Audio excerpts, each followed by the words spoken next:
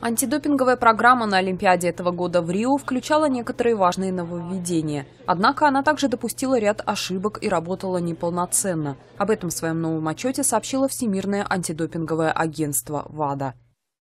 Так, в 55-страничном документе сообщается, что многих атлетов, которые должны были сдать допинг-тесты, просто не смогли найти.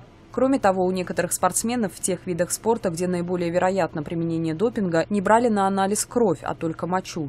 Такие виды спорта включили, например, тяжелую атлетику. По мнению независимой комиссии ВАДА, многие проблемы возникли из-за неквалифицированного персонала. Так, работники, которые должны были уведомлять спортсменов о дате и времени проведения допинг-теста, просто не выполняли этих задач. Кроме того, многие из них почти не владели английским языком. В отчете говорится, что персонал, который не прошел подготовку, не имеет опыта, не может работать на Олимпиаде. Цитата «Это подрывает уважение и доверие атлетов в отношении антидопинговой программы и предоставляет возможности для нарушений недобросовестным спортсменам». Конец цитаты.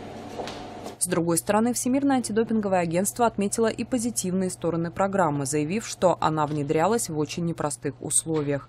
Особую благодарность выразили волонтерам, которые, несмотря на нехватку персонала и ресурсов, а также другие трудности, добивались того, чтобы права спортсменов, не применяющих допинг, были соблюдены.